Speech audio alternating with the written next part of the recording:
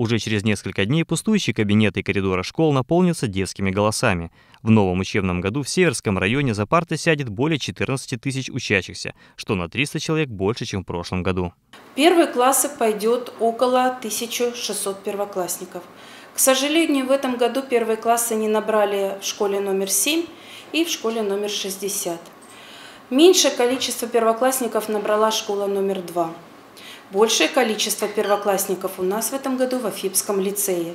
В настоящий момент более 180 первоклассников. Шесть параллелей первых классов в этом году будет открыто в лицее. Э, самая большая образовательная организация на территории муниципального образования Северский район – это Афипский лицей. Более 1600 обучающихся в этом году будет учиться в лицее. В школах Северского района уделяется внимание кубанским традициям. На сегодняшний день насчитывается более 58 классов и групп казачьей направленности. Общая численность более 1700 учащихся. Школа номер 12 станицы Дербинской получила официальный статус казачьей. В этом году учеников района ожидает немало приятных сюрпризов. В школах появятся новые проекты. Один из них носит название «Современная школа». В рамках данного проекта в школе номер 59 и в школе номер 49 будут открыты ресурсные центры «Точка роста». Данные ресурсные центры позволят детям в рамках внеурочной деятельности и в рамках дополнительного образования обуч... Э, обучаться по-новому, по таким предметам, как технология, основы безопасности жизнедеятельности, информатика. Дети будут осваивать данные предметы по-новому. Не только учащиеся этих школ, но и ребята из других учреждений смогут посещать дополнительные занятия. Школа номер 59 стала одной из 153 школ края, где будет действовать федеральный центр «Точка роста». Появился специальный кабинет, где дети смогут постигать современные технологии. В первую половину дня в рамках учебного процесса этот кабинет будет задействован для проведения обычных уроков информатики, основ безопасности жизнедеятельности и технологии. А во вторую половину дня более свободное время от занятий учеников. Мы приглашаем всех принять участие, записаться к нам на кружки в неврочной деятельности и научиться таким навыкам, как э, работа с квадрокоптерами, с цифровой видеокамерой. Мы научим языкам программирования, мы научим работать в рамках такого интересного направления, как робототехника. Также наших детей ждет интересные занятия с 3D-принтером, со станцией виртуальной реальности. То есть те навыки, которые сейчас востребованы в современном мире, они будут доступны для наших детей. В рамках проекта в учреждении появилась шахматная гостиная с зоной, отведенной под общение, так называемого коворкинга. Освоить новые возможности учащиеся смогут уже во второй половине сентября. 20 сентября мы приглашаем на День открытых дверей нашего центра всех желающих, как детей, так и взрослых. Приходите к нам, будет интересно. Еще один новый национальный проект, который внедрят в этом году в рамках физического воспитания самбо в школах. В 2018 году в этом проекте участвовало 4 школы. В этом году, в 2019 году, мы планируем участие еще 5 школ. Все эти школы получают новое спортивное оборудование. Педагоги школ прошли курсы повышения, прошли квалификацию. Одно из учреждений района, принявших активное участие в проекте «Школа номер 45» станицы Северской. Благодаря э, поддержке э, нашей, нашего директора Каратаевой Натальи Петровны были в школу приобретены э, борцовские ковры для занятий этим видом спорта. Мы планируем обучать детей данному виду спорта. Дети заинтересовались, и с этого года мы начинаем вводить этот проект в реализацию по дополнительному образованию.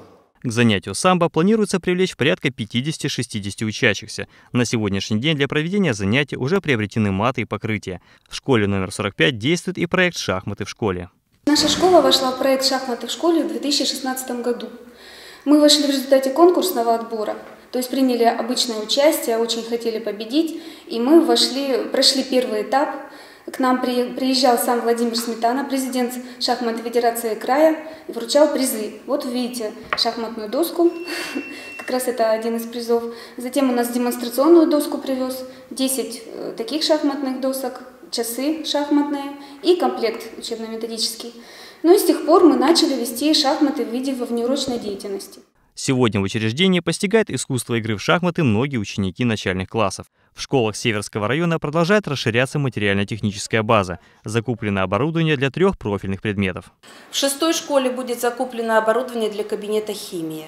В 43-й школе мы закупим, закупается оборудование для кабинета биологии. В 44-й школе, которая является профильной по агротехнологическому профилю, закупается кабинет агротехнологического оборудования. Учащиеся 10-11 класса этих школ будут учиться именно в профильных группах и в профильных классах, что позволит им более глубоко, глубже изучить данные предметы и подготовиться в ВУЗ. Школа номер 44 станицы Северской стала первой в районе, где реализуется технологический профиль агротехнологической направленности. Ученики получают комплексное знание по растениеводству. Многие даже решают связать свою жизнь с сельским хозяйством. В этом году состоялся первый выпуск. Какие у нас э, условия созданы для детей? Э, химия в сельском хозяйстве дети изучают за счет предметов элективных растениеводство в 11 классе. У нас есть и предпрофильная подготовка, то есть это основы финансовой грамотности, экология, экологическая направленность. На практике это реализуется за счет э, работы как раз в теплице, на насыпных грядках, в саду. То есть э, элементарные знания, которые получают они теоретические, есть возможность у нас реализовать на практике. Потому что для этого создана материально-техническая база. Та же самая теплица, те же самые грядки, тот же сад. Идея, ну, скажем так, посадить этот сад пришла давно, в 15-16 учебном году. Было посажено более 40 саженцев различных плодовых деревьев. Ну вот и в итоге наш сад уже в этом году, можно сказать, поднялся. То есть уже есть первые какие-то результаты и плоды. Современный учебный процесс немыслим без специально оборудованных классных комнат и новых образовательных учреждений. В 2021 году планируется строительство нового блока начальной школы на территории Афипского лицея, рассчитанной на 400 мест. Есть планы по строительству новых блоков и на территории других школ. Дети, которые будут обучаться в этой школе, будут обучаться в огромных просторных кабинетах, которые будут э, получать образование не только в рамках урочной и внеурочной деятельности. Это новые игровые комнаты, это новый кабинет робототехники, новый спортивный зал, несколько кабинетов, которые объединят э, общую, общую площадь медицинских кабинетов. Все проекты и нововведения ждут своей скорейшей реализации и рассчитаны на то, чтобы новый учебный год оказался плодотворным для учеников и помог им реализовать свои таланты и способности. Руслан Лов, Владимир Галуцкий, Алексей Попов, телерадиокомпания «Атаман» преддверии 1 сентября сотрудники следственного отдела по Северскому району с дружеским визитом посетили воспитанников реабилитационного центра в поселке Черноморском. Сотрудники органов следствия поздравили детей, а также коллектив учреждения с наступающим Днем знаний и учебным годом. Приятным подарком для ребят стали футбольные мячи, куклы, развивающие игрушки и яркие конструкторы. В завершении мероприятия следователи поблагодарили детей за теплую встречу, а также отметили труд коллектива социального учреждения учреждения по созданию теплой домашней атмосферы для его воспитанников. А, наша работа а, будет выстраиваться планомерно, наша работа будет выстраиваться системно, и а, это будет направление именно как творческое, так и патриотическое. Наша задача именно состоит в том, чтобы с юного возраста детям прививать правопорядок, правосознание. В Северском районе определили лучших знатоков. В молодежном центре «Этаж» прошел чемпионат высшей лиги по интеллектуальной игре «Что, где, когда». Организатором соревнования выступило Управление по молодежной политике. За звание главных интеллектуалов Северского района боролись семь команд. Как известно, такой вариант игры «Что, где, когда» отличается от всем известного телевизионного тем, что играет не одна сборная из шести игроков, а сразу несколько команд соревнуются в том, кто даст больше ответов на предложенные вопросы. Знатокам предстояло пройти два раунда сложных вопросов. Блиц-вопросы и разгадали секрет черного ящика. На протяжении тысячелетий это символизировало для многих народов тайну жизни. А в средние века европейцы воспринимали его как модель мироздания, где его составные части олицетворяли землю, воду, воздух и огонь. Но если вспомнить сказки, надо добавить, что это символизировала не только жизнь, но и смерть. Что это такое? Коллективно решили, что это яйцо.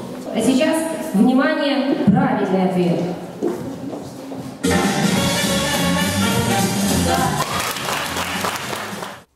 По итогам напряженной и увлекательной игры определилась тройка победителей. Опередила своих одноклубников и заняла почетное первое место команда знатоков Афипского НПЗ. Второе место команда администрации Северского района «Экономика». Третье место у сборной Черноморского поселения «Эрудиты». Для чемпионов турнира подготовили памятные кубки. Новый осенне-зимний сезон игр «Что, где, когда» стартует 27 сентября. Отдел МВД России по Северскому району объявляет набор кандидатов для прохождения службы офицерского и сержантского состава. Сержантский состав – это входит сотрудники полицейской отдельной роты ППСМ. Офицерский состав входит следователи, оперуполномоченного уголовного розыска по борьбе с незаконным оборотом наркотиков, дознаватели.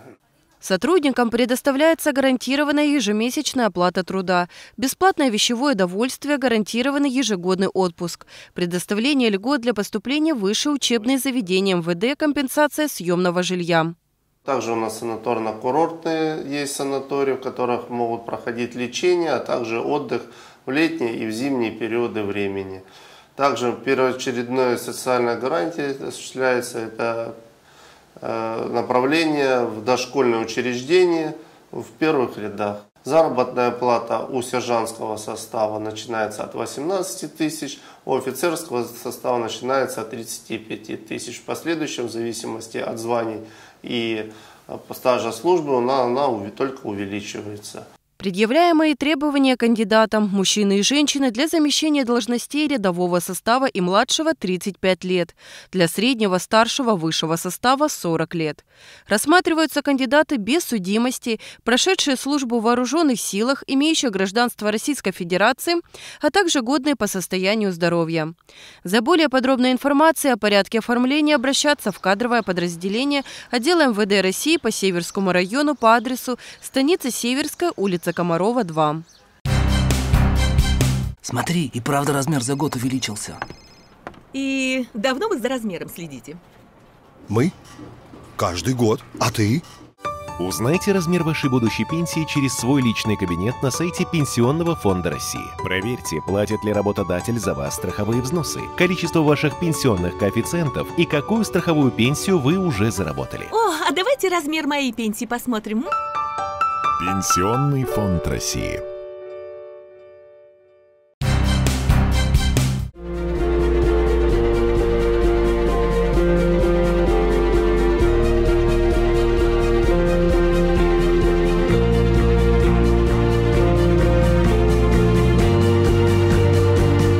Я Горохова Диана Равкатовна, являюсь руководителем клуба 19 лет. За 19 лет работы в нашем клубе количество занимающихся увеличилось до количества 200 человек. Начиналось все очень просто с группы любителей фитнеса, и со временем э, клуб разросся до больших размеров. Сейчас в клубе действуют группы восточного танца, фитнес-направления – Основная масса, конечно же, занимаются у нас дети, занимаются спортивной акробатикой, акробатическим рок-н-роллом. Кстати, новый вид спорта, который существует э, всего лишь в пяти муниципалитетах Краснодарского края и начал развитие также в нашем клубе. Основной упор у нас идет, конечно же, на гармоничное развитие личности как в спортивном мире, так и в мире искусства, в хореографии. Мы с детьми периодически выезжаем на соревнования, на краевые смотры, конкурсы, на фестивали, на первенство России. В копилке наших достижений есть и чемпионаты Краснодарского края, первенство Краснодарского края, всероссийские соревнования по спортивной акробатике, э, первенство по акробатическому рок-н-роллу всероссийские конкурсы хореографического искусства, на которых мы становились обладателями гран-при, лауреаты первой, второй, третьей степеней. Наш коллектив уже знают далеко за, за пределами Краснодарского края. Наш коллектив является визитной карточкой Северского района, украшает все праздники и мероприятия. За годы работы в своем клубе я поняла одно, что это не только работа, это не просто работа, это моя жизнь, это мое кредо, это зал, это мой второй дом. Благодаря пониманию, осознанию того, что приходя в зал, ты приходишь не просто на работу, а приходишь домой, отсюда получаются хорошие результаты. Это результативность на соревнованиях, на конкурсах. Из моих воспитанников э, вырастают не просто спортсмены, не просто артисты, они вырастают хорошими людьми, людьми, которые будут поднимать наше государство, служить нашему государству нашей родине, служить нашей малой родине. Э, наши, мои выпускники приходят, возвращаются в нашу станицу, становятся тренерами рядом со мной в одном зале.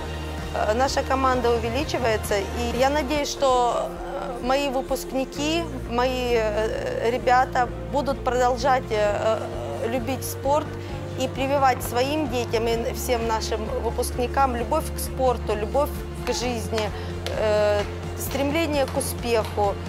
Главной задачей нашего клуба является пропаганда здорового образа жизни, вовлечение детей, подростков, молодежи в, соци... в социальную жизнь нашего района, поддержание спортивного духа, соревновательного духа, а также вовлечение родителей и взрослого населения в спортивную, в активную жизнь Северского района.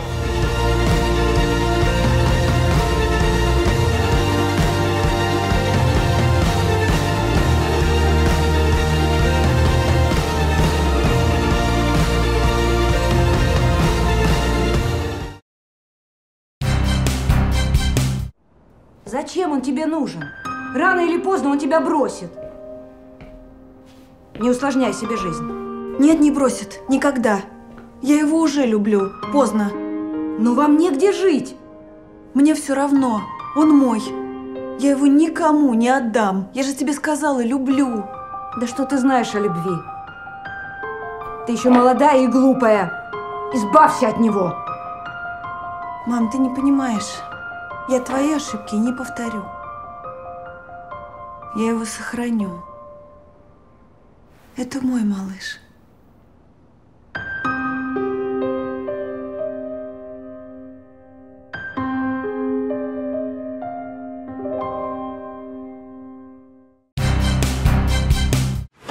МЧС России предупреждает, неосторожное обращение с огнем приводит к трагедии.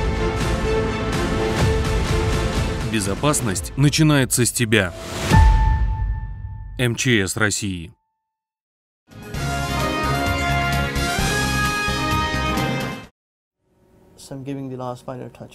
С первого взгляда эту наперстянку не отличишь от настоящей, но эти цветы бумажные, детище нью-йоркского дизайнера Сурабха Гупта. Нью-Йорк для меня лучшее место для такого занятия. Я приехал оттуда, где горы и красивая местность, и где ты просто вышел, сорвал цветок и принес домой. Гупти 29 лет. В родной Индии выучился на архитектора. Потом поступил в школу дизайна в Нью-Йорке, но хватило его на год, бросил. Два года назад в Институте костюма в Метрополитен-музее увидел украшенные цветами платья японского дизайнера Рейкова Куба, и у него перехватило дыхание. Тут же вспомнил, как в детстве мастерил бумажные цветы из желтых чеков и подумал, а почему бы не воскресить старое хобби и не вывести его на новый уровень. В Джамму и Кашмире, где я вырос, было три универмага, два продуктовых и один хозяйственный. Поэтому, если хочешь создать что-то, ищи способ сделать это сам. И вот в маленькой комнатке Гупты, которая для него и студия, и спальня, рождаются настоящие чудеса из гофрированной бумаги. Каждый лепесток раскрашивается вручную, детализируется пищевыми и акварельными красками. И хотя всерьез Гупта делает цветы лишь 8 месяцев, его работы быстро заметили. После нескольких фото в Инстаграме ему уже поступил заказ на 300 ромашек для дизайнерского платья на Мэтт Гала, знаменитый ежегодный благотворительный бал Института костюма. Это возможность постигать работу с материалом, возможность творить, потому что каждый раз, создавая цветок, я получаю пару новых навыков. А цветы, над которыми Гупта колдует сейчас, отправятся на выставку в исторический музей Болтона. Я уверен, что если я подарю вам бумажный цветок, вы улыбнетесь.